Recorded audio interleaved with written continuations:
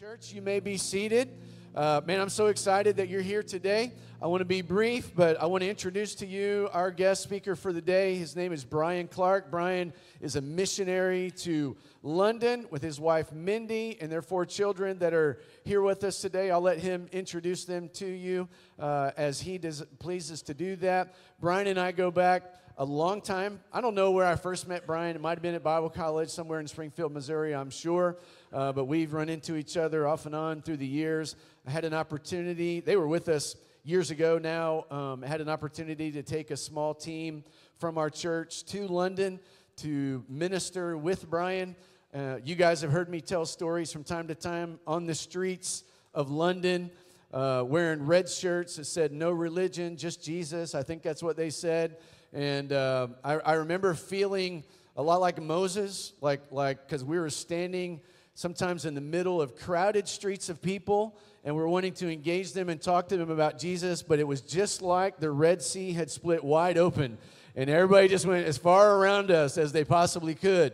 And uh, so, but man, we had a lot of great conversations, and Brian really taught us and helped us. Um, you know, learn to share our faith in, in the way that they had been doing, and yet at the same time, um, hopefully making contacts for them to follow up on for some time to come. And so, really glad that Brian, you're with us today. Come on up here. We're looking forward to hearing you preach the word. So, let's give him a hand as he comes. Love you, man. Well, it is, um, it is really nice to be here. Um, it's always a pleasure to be able to see Alan again. Um, I love him a lot. He's a dear brother. And uh, that was a good trip. It was a good team that came over. We spent a lot of good time on the street and stuff like that. And uh, where is my family? Where?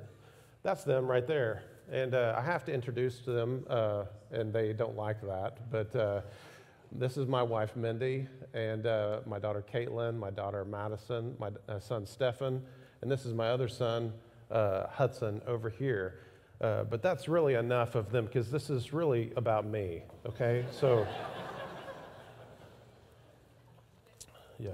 Um, I, I, am a missionary uh, to London, uh, just like your pastor is, a missionary.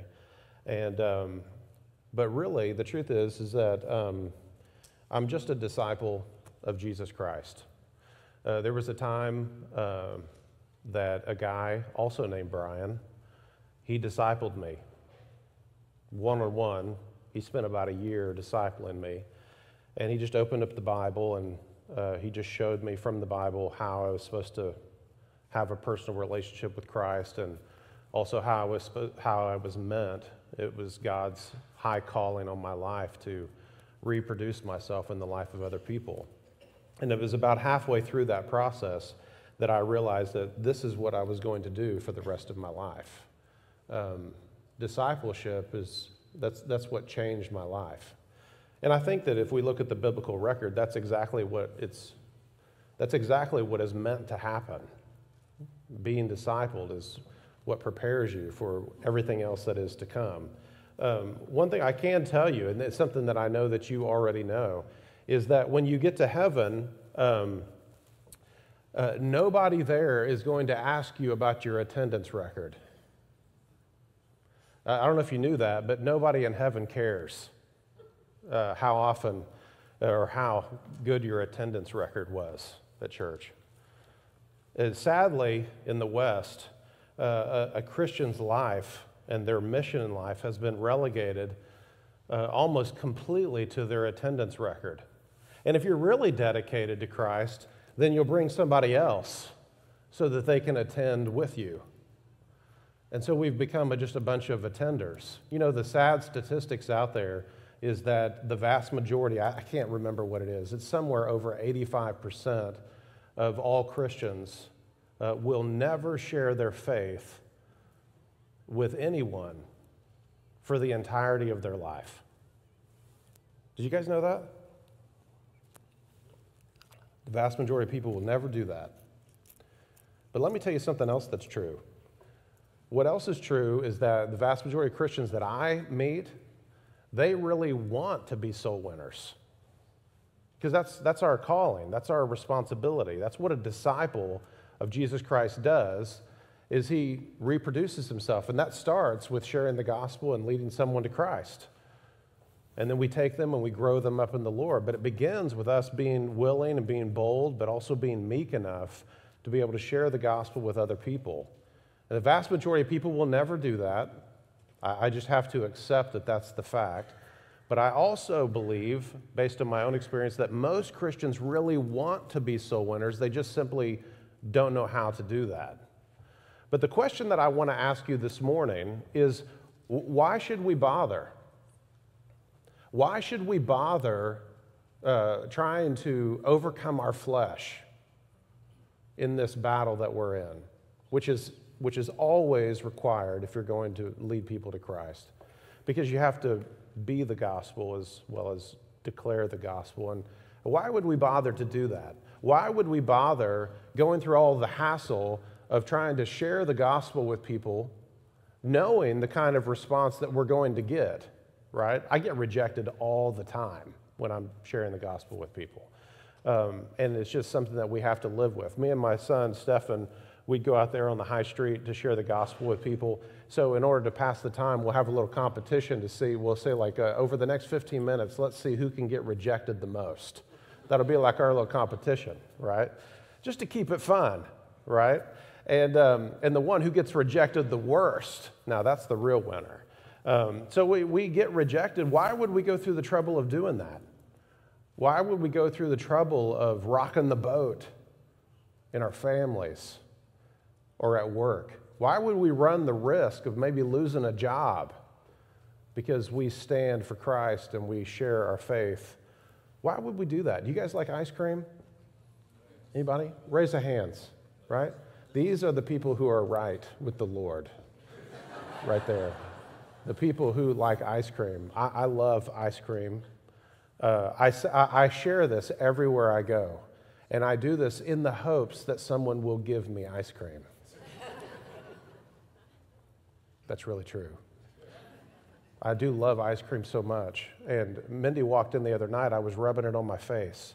I, I love ice cream so much, uh, maybe a little too much. Now, my question is why in the world would I not just spend the rest of my life sitting in front of Netflix eating ice cream. Do you guys have Bluebell down here? Oh my gosh. Oh, yes, it does. Is so delicious.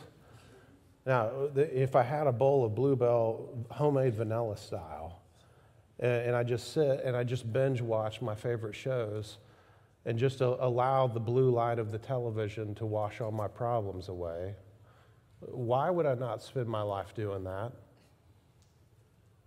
It's so nice, isn't it? so comfortable. Why in the world would I not spend my life? And of course, you got to go to work because you got to. Before we came to Christ, we were spiritual lepers. We had a fatal disease that lives in our flesh. Do you follow with me? And that's called sin, and there's no cure for it. It doesn't matter how many times you come to church, it doesn't matter how nice you are to your wife. It doesn't matter how good you are to your kids. It doesn't matter if you're a good citizen. It doesn't matter if you vote for the right person, as if there was one. It doesn't matter what you do in society. It doesn't matter if you don't cheat on your taxes. It doesn't matter if you always tell the truth. There's no cure for it. It will kill you. It's fatal. And there's nothing that you can do to turn that around. It's too late. And not, not only were they lepers, but it says they were in the middle of a war. They were up in the northern part of the kingdom, up by Samaria, and the Syrians had completely surrounded the place in siege warfare. So they're surrounded by war. We were born into a spiritual war, weren't we? We don't wrestle against the flesh and blood. We're, we may not be in, engaged in a physical war, even though some of us might have to do that. But we're engaged in a spiritual war against spiritual wickedness in high places. We were born into that war. And not only that, but it says here's the Christmas bonus there's a famine. As if things aren't bad enough, man. These guys have leprosy that they're going to die from, they're surrounded by war, and they're all starving to death. So that kind of sucks, right? So they're lepers, they're in the middle of a war, and then they're in the middle of a famine. And that's a reminder to us that that's exactly the kind of world that we were born into. Amos chapter 8 tells us that we live in a famine, not of bread, but of hearing the word of God. It is a reminder to us that when you walk out the, those doors today, back into the world, it's a reminder that there is nothing for you out there. There is nothing out there that can feed your soul. And, and we keep looking for it, don't we? Uh, we keep scrolling on Instagram, just hoping that there's going to be a reel, which I think is such an ironic title for those things. They keep scrolling through the reels, just hoping that we'll find the secret to how I can finally, you know, be attractive to my wife and how I can fix my kids and how I can fix my finances and how I can finally be safe and be secure and be somebody. But you won't find it. Because there's nothing out there that they can give us that will actually feed our souls. And we just keep filling ourselves with it and filling ourselves. And the more we do, the more empty we are. It is a famine out there. It's also a reminder to us that the people who are still out there are, in fact, starving to death. That's the world that these guys were born into. And so they look around and they say, What are we going to do? Are we going to just sit here till we die? And this guy gives them some options. He says, We have three options. He says, We can go back into the city, and you can do that too. You have these same three options. You can go back into the world if you want to. He says, But there's a famine, so we're just going to die. He says, We can stay where we are, and you can do that as well. You can choose not to choose. And you can say, you know what, I just like things the way they are. I'm just going to keep the status quo. I'm just going to stay where I'm at. I've kind of figured out how that I can get along and uh, get by on my own personal, respectable sins. And I'm fine. I'm just going to stay where I'm at. And this guy says, We can do that. He says, But if we stay here, we're just going to die. He says, What if we run out to our enemy? What if we run out to our enemy and maybe they'll have mercy on us? And give us some food so that we can live. He says, but if, if they don't, then they're just going to kill us, which is cool because we're going to die anyway. And my first question is who invited this guy to the party? this guy is like the most depressing friend in all the world.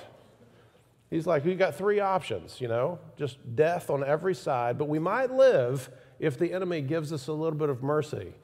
We might be able to live. And that's exactly who we were. Ephesians tells us that when we were without Christ, that we were in the world and we had no hope. That's who we were spiritual lepers, surrounded by war, in the middle of a famine, our souls starving to death.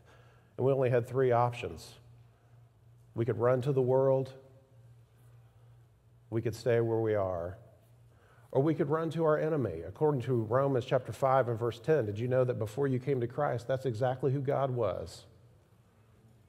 He was your enemy.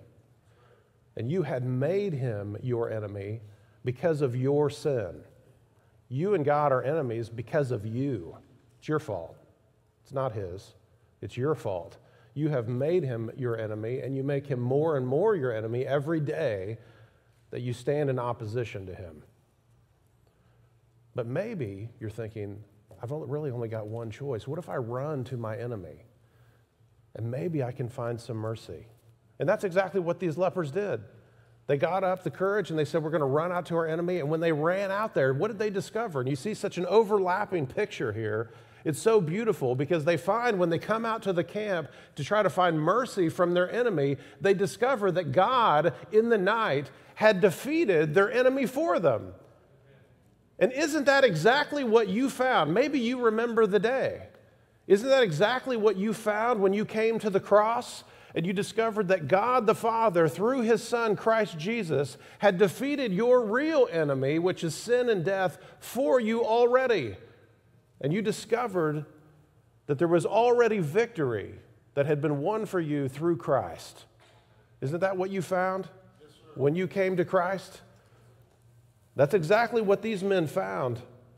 These lepers, not only did they come to this crossroads just like you, and you have to make a decision which way you're going to go. And you have no choice but to make a decision. Now, you can stay, you can go back, or you can come to Christ. Those are your only three choices. And they made their choice, and what happens was, you see in verse 8, these lepers discovered a treasure. Do you see in verse 8? It says, When these lepers came to the uttermost part of the camp, they went into the tent. And you can remember that day. If you've ever come to Christ, you may not know what day it was or what time it was, and that's okay, but you do remember that it happened. And there was a time that you came into that tent, there was a time that you came into Christ.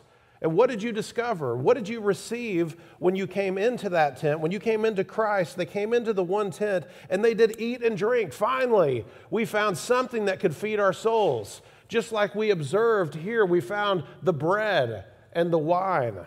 We found the body of Christ. We found the blood of Christ. That's exactly what these men found. We, I want you to look at a few scriptures with me so that we can see this.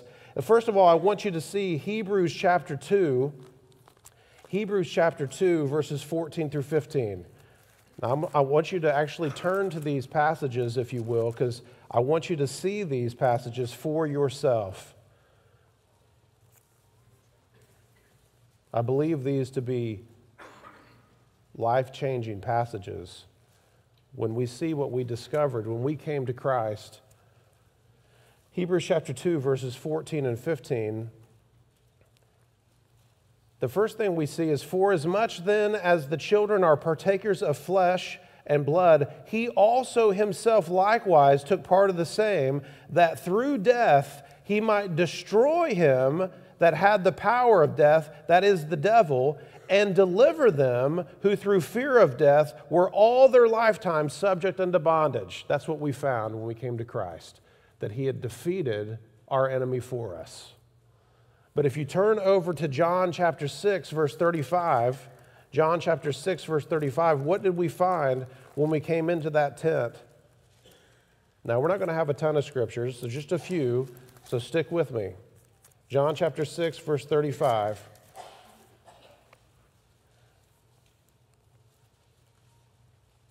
When we came into that tent, after we discovered what he had done through the cross in defeating our enemy, we came into Christ, and Jesus said in John 6:35 unto them, I am the bread of life. He that cometh to me shall never hunger, and he that believeth on me shall never thirst. That's what we first found. We found something to eat, we found something to drink the kind that could finally satisfy our soul.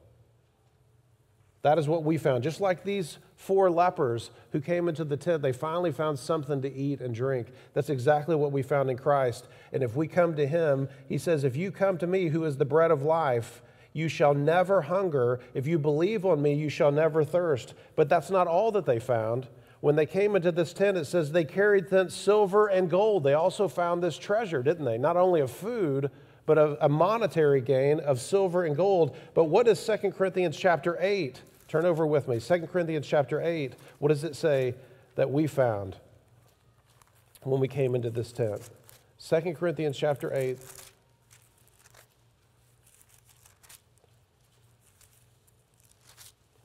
Second Corinthians chapter 8 and verse 9, what does it say that we found when we came into Christ?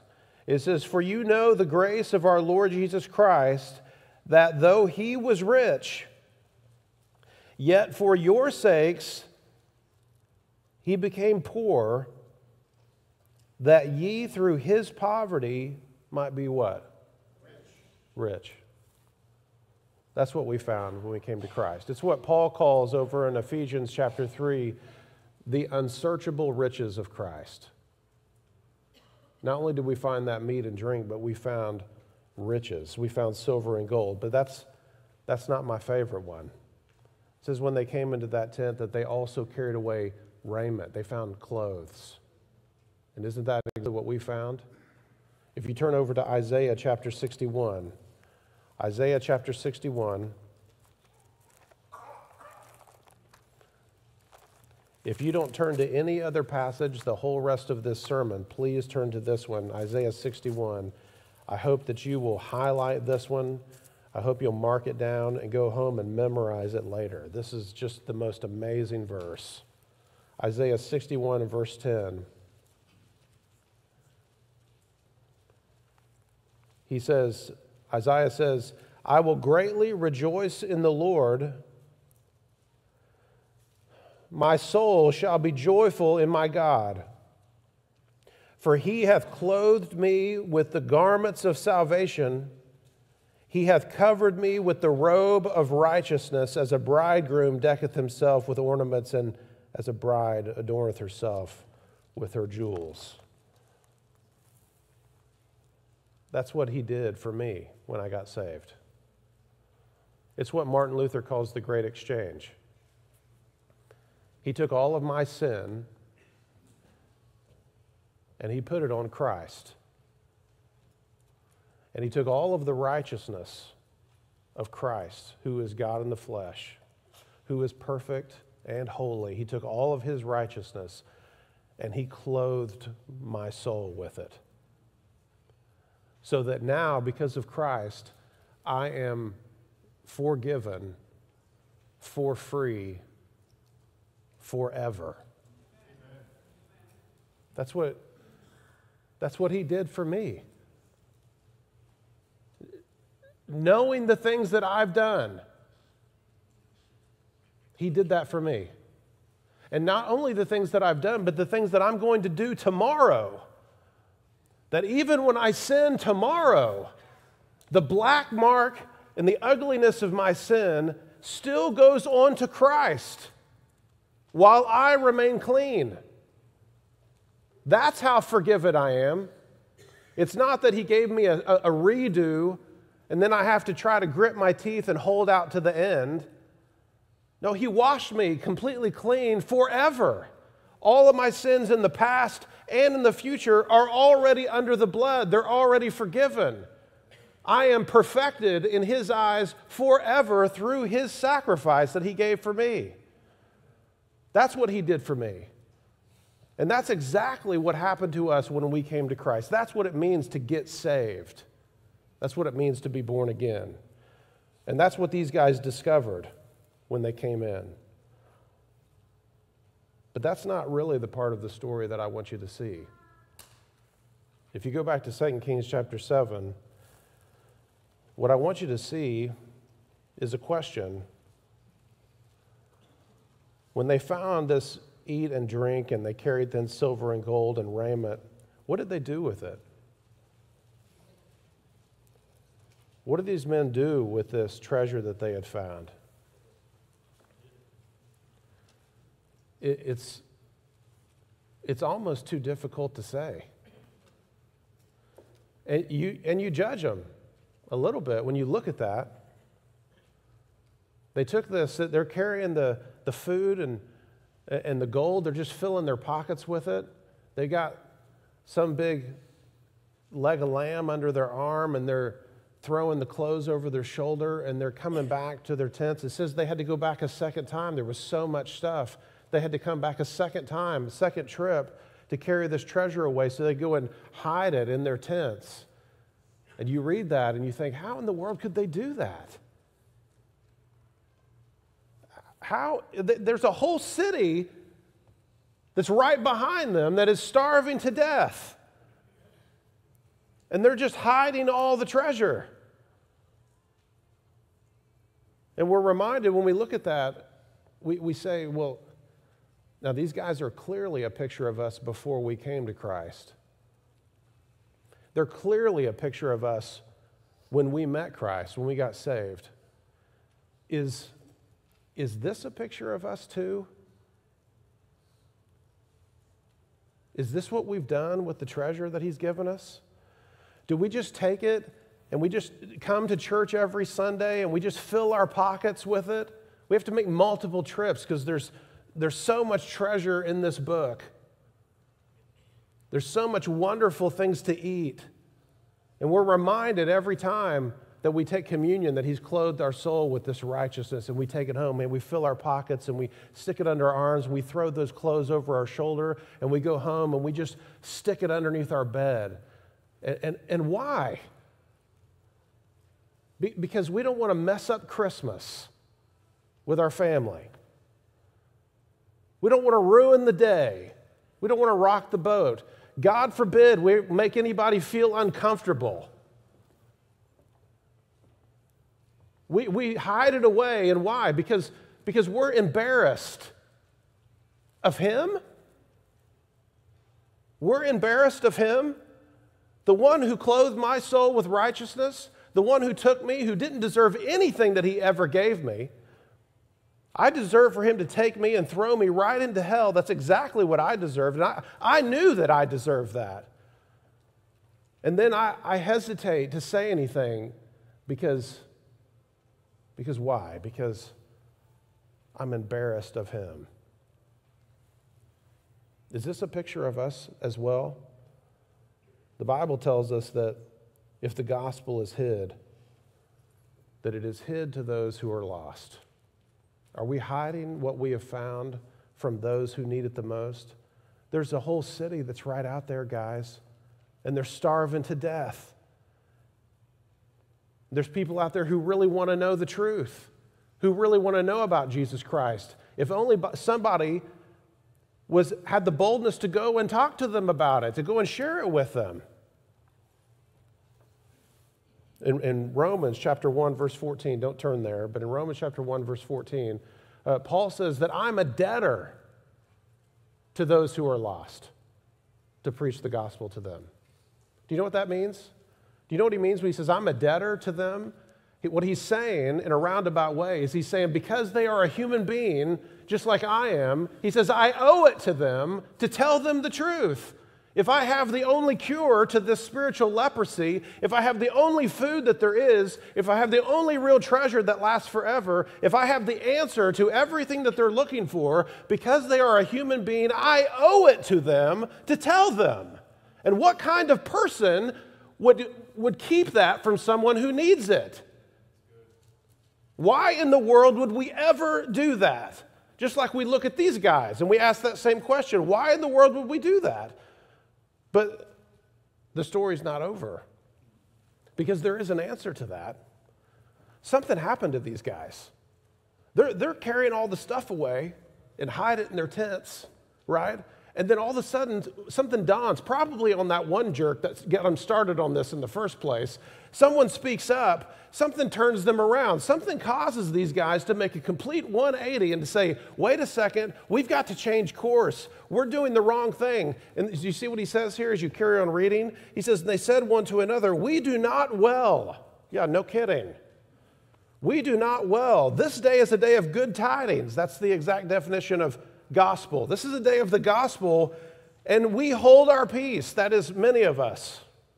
We do not well because we have the gospel, and yet we hold our peace. He says, if we tarry, look, now here's what turned them around. Do you see what he said? He says, if we tarry until the morning light, then some mischief will come upon us. And that word mischief, that the, the Hebrew construction of that word means the idea is punishment. He says, if we tarry until the morning light, then some sort of bad punishment, something bad is going to happen to us, is what he said. And so what did they do? So they went and told the king, who told everybody, and then everyone comes out, you know, and they all get the, the treasure for themselves. But what was it that turned them around? What is it that makes us bother? What is it that makes us go through the trouble? What is it that keeps us from being selfish human beings that take this treasure and hide it away? What makes us turn around and decide we're going to go and tell everybody instead of keeping it to ourselves? The thing that changed their path was that they remembered that the sun was getting ready to rise. That's what turned them around. It wasn't their grit. It was that at some point, as they're carrying the stuff away, one of the guys speaks up and he says, Wait a second, guys. Uh, we're not really thinking this through. There's a flaw in our plan. He's saying pretty soon the sun is going to come up, and everybody in the city, guess what? They're going to see that the enemy is gone anyway. Everybody's going to see the truth in the light of day. And the king is going to know at some point it's going to be discovered that we knew about it and didn't tell anybody. That's what turned them around. Now, think about what, is, what it is that we're waiting for. As we carry all these treasures that your pastor prepares for you every week, as we carry them home and we shove them under our beds, at some point we, it has to dawn on us, no, no pun intended, it has to dawn on us that we're not really thinking this plan through, are we? We're not really thinking it through. Because the Bible tells us, does it not? In Romans chapter 13 and verse 12, this is what the Apostle Paul tells his people. He says, The night is far spent, and the day is at hand. Paul tells them, he says, It's time for you to cast off the works of darkness and put on the armor of light, for you to put on Christ. He says, And why should we do that? Why should we bother to enter into this battle? He says, Because the night is far spent, because the sun is getting ready to rise. That is what we are waiting on. That's the next thing to happen on the timeline. There's coming a day when we're going to be caught up and we're going to stand before the Lord in the judgment seat. And 1 Corinthians chapter 3 verse 13 tells us that every man's works are going to be judged and it says and the day will reveal what sort they are. The sun is going to shine. Everyone's going to know the truth anyway. And your king is going to know that you knew and you told nobody. That is what turns us around. And I, uh, I think about these things.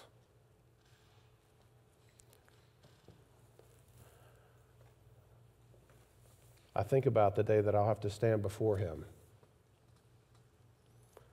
You remember the night that Christ was being judged, as he stood before the judgment seat. Peter was out in the court, and he was denying Christ, just like we do. And we're like, no, wait a minute, I come to church, uh, who cares? Let's not fool ourselves, okay?